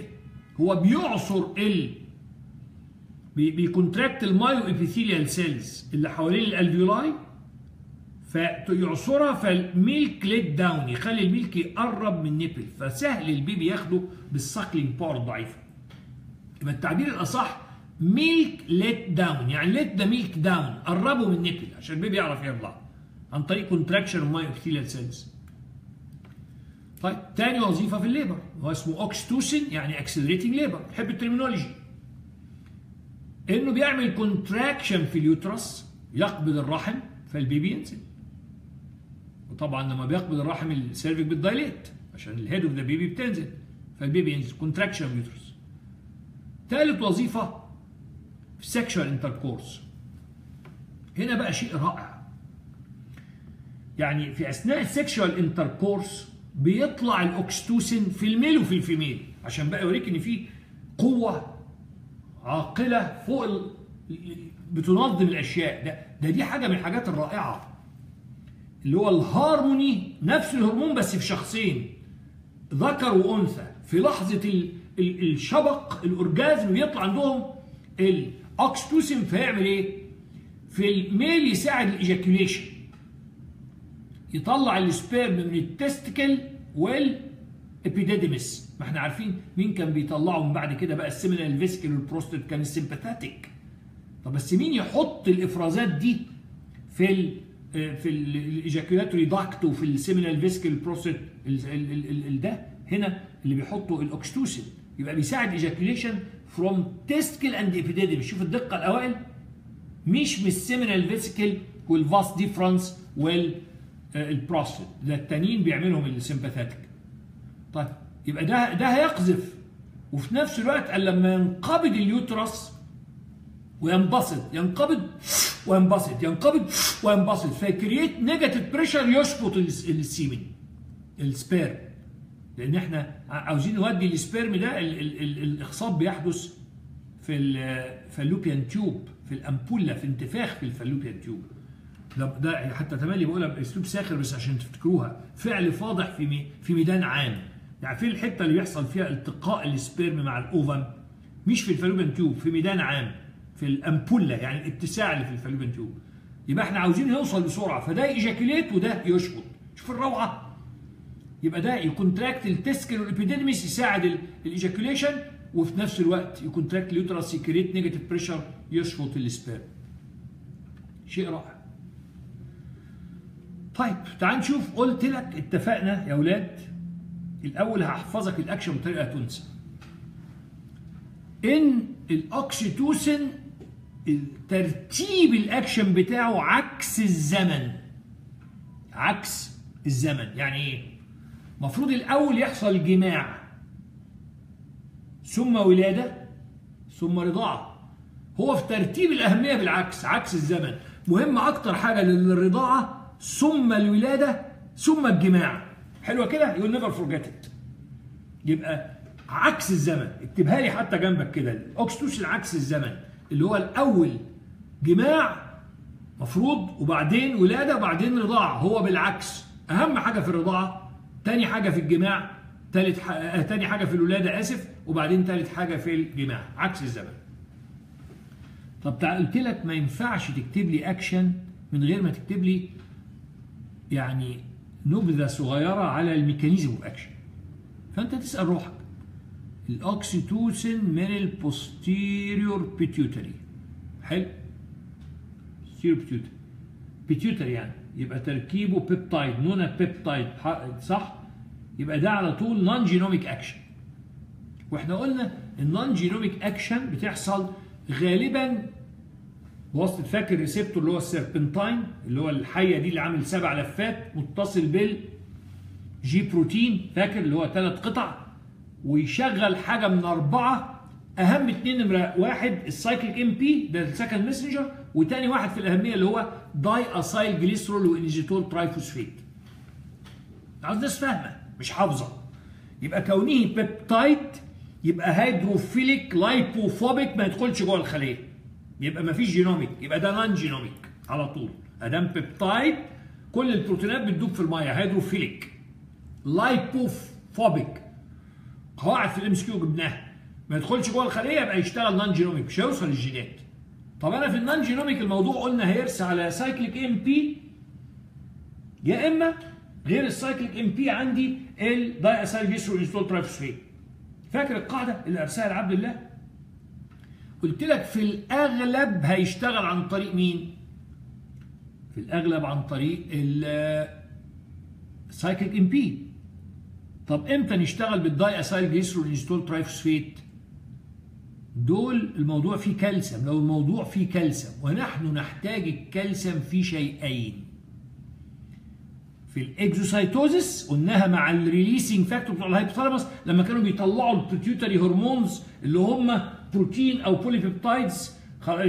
صح بيطلعوا بال exocytosis فكنا بنشتغل بال diacylglycerol triphosphate.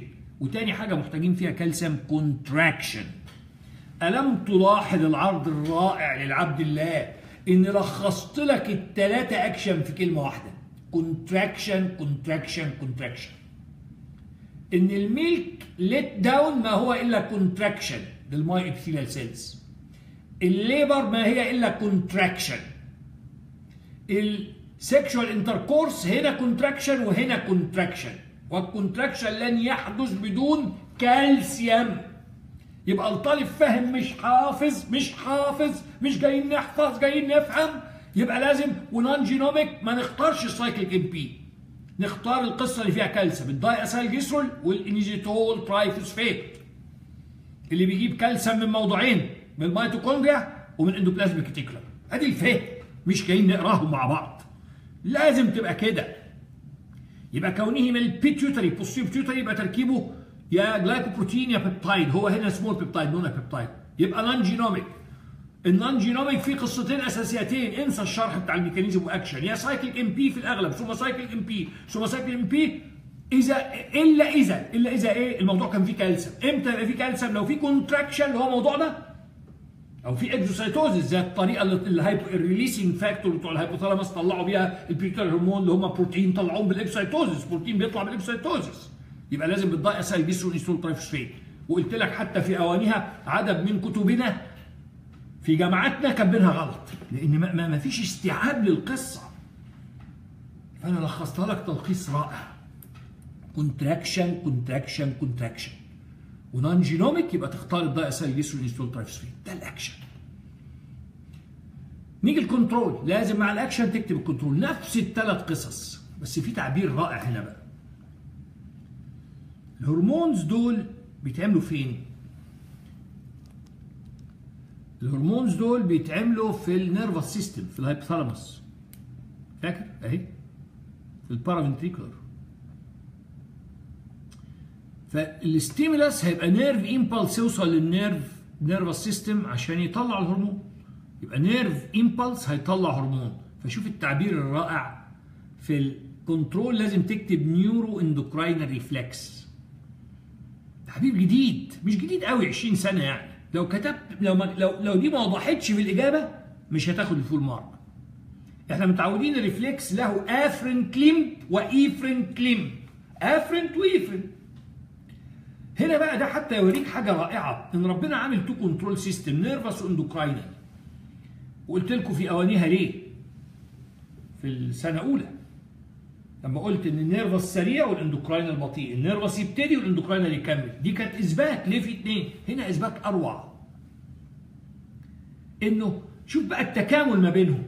إن reflex ال afferent limb بتاعه nerve impulse يبقى neuro وهيرد ال efferent إنه يطلع هرمون يبقى neuroendocrine reflex وتعال تتفرج نفس الثلاثه هم.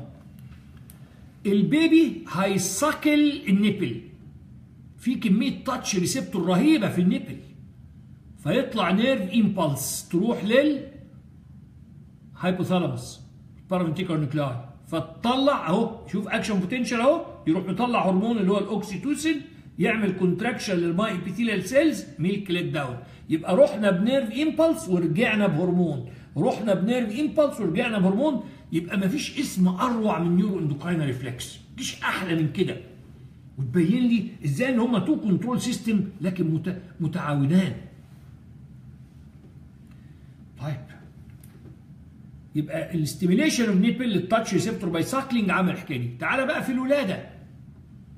ال baby ال head بتاعته نزلت في عنق الرحم ال cervix عملت cervical dilatation فال cervical dilatation ده يبعت nerve impulses تروح لل nervous system لأن الهرمون هنا بيتعمل من ال nervous system. ال paraventricular. يطلع oxytocin يقبض الرحم فينزل head of the baby فيعمل more cervical dilatation. يعني ال uterus contraction. يعمل cervical dilatation وال cervical dilatation يطلع more oxytocin يعمل more uterine contraction. ادي تاني واخر example للاوائل بس ل positive feedback mechanism. يبقى ال positive feedback معظم ال mechanism negative feedback ما عدا للاوائل اثنين والاثنين فين بقى؟ في ال female. فين؟ في ال reproductive system واحد خدناه بتاع ال ovulation.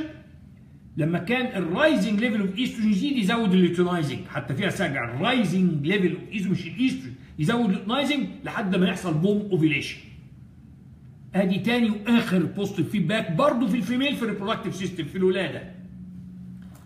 ال cervical dilatation يطلع impulse يجيب oxytocin فيعمل uterine contraction ال head of the baby تنزل أكتر more cervical dilatation more nerve impulse more oxytocin more cervical dilatation positive feedback ما يخلصش غير لما الولاده تخلص. شيء رائع شيء رائع. نيجي ثالث واحدة. في ال sexual intercourse طبعا ال genital stimulation ده الأساس.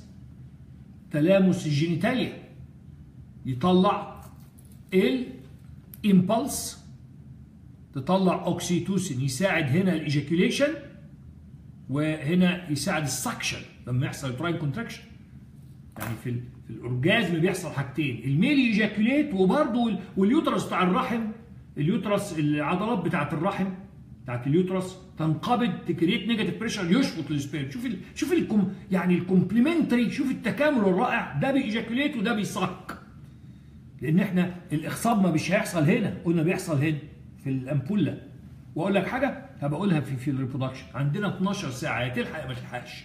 البويضة عزيزة جدا بتستنى في الميدان العام ده 12 ساعة. ما جالهاش ال sperm خلصت القصة. في الشهر كله ما عندهاش غير 12 ساعة للإخصاب. maximum 1 day ومع ذلك في انفجار سكاني. انفجار سكاني في الدنيا كلها. الناس ظابطة روحها. عارفة فين؟ في النص يوم أو اليوم ده. مين بيساعدها؟ ال oxytocin فيطلع بال genital stimulation. neuroendocrinal أي تعبير غير neuroendocrinal تاخد صفر. بيطلع بال orgasm اللي هو الشبق اللي هو لحظة ال ال ال الإشباع الجنسي. Even by hugging.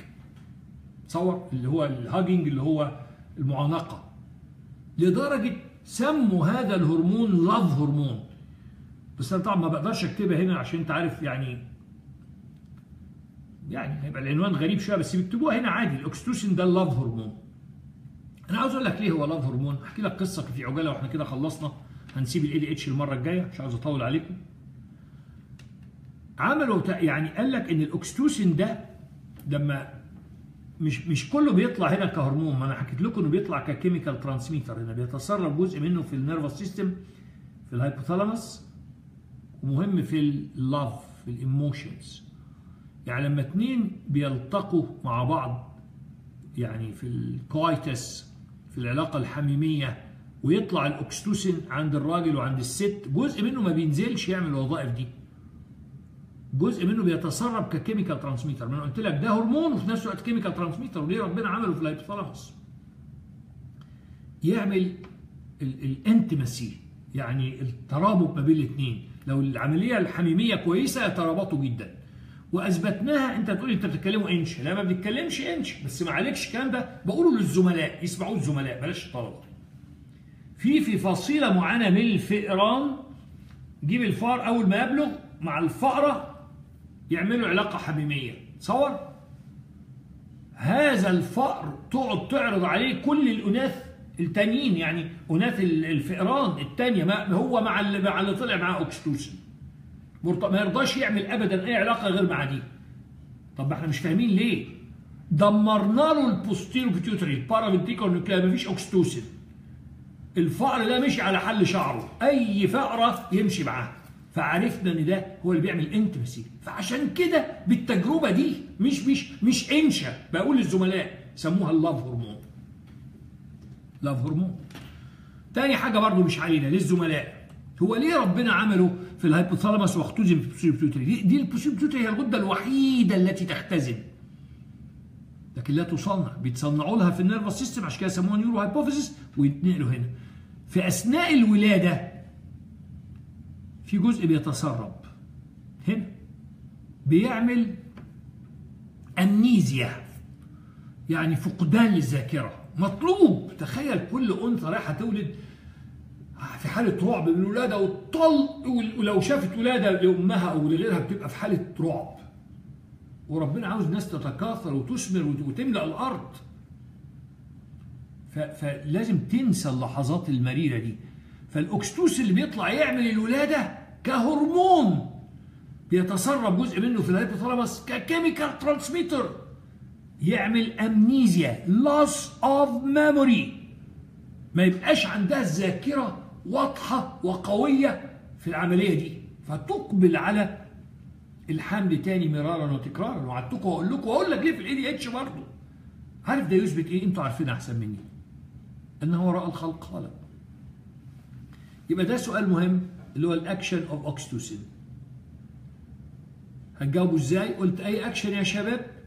تبتدي بالميكانيزم اكشن مع شق مثل عشق النظام. طب ده في الأول أنت هتقول إن هو طالع من البيت يوتري بحرف البي هو بيبتايد حتى قلنا نونا بيبتايد وحكينا عنها. يبقى لازم يبقى نون جينوميك طب النون جينوميك مين القصة الأساسية؟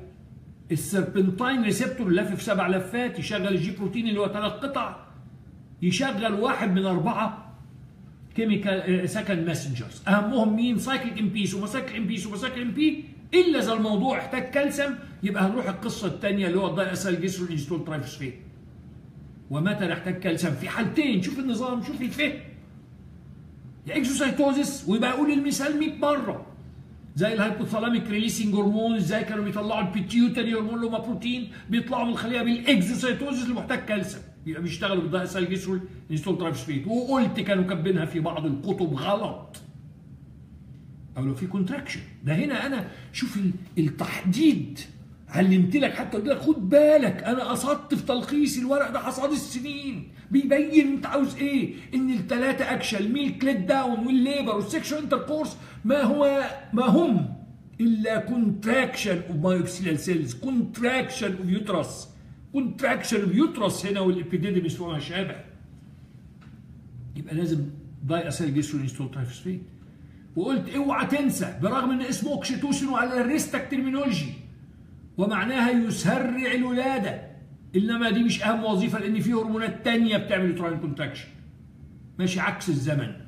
مفروض جماع ولادة رضاعة. هو ماشي بالأهمية رضاعة ولادة جماع. اوعى تنساها في حياتك. مش تاخد full mark ثم ال control؟ عارف لو نسيت دي مش هتاخد نمرة. neuroendocrine reflex شيء رائع. nerve impulse هتطلع هرمون. هنا ال stimulus stimulation of nipple أو touch receptor by suckling. هنا ال cervical dilatation rate of the baby. وخد بالك بقى ده the second and the last example of positive feedback mechanism في ال endocrine مش هتلاقي غيره. في ال endocrine في اثنين الاثنين في ال female في ال reproductive التبويض والولادة. التبويض ال rising level of estrogen أو والولادة اللي هو ال cervical dilatation يطلع oxytocin uterine contraction more cervical dilatation إلى أن تتم الولادة. ثم ال stimulus في الجماع.